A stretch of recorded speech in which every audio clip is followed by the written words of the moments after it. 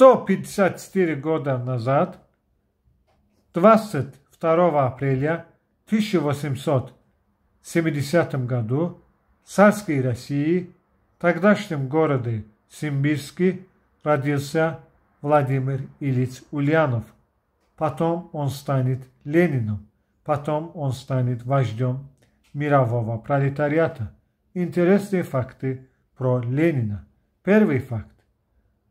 Ленин – это вымышленная фамилия. Его настоящая фамилия Ульянов.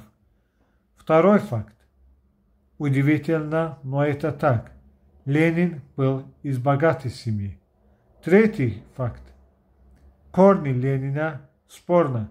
Некоторые источники пишут, что якобы он был внебрачным сыном царя.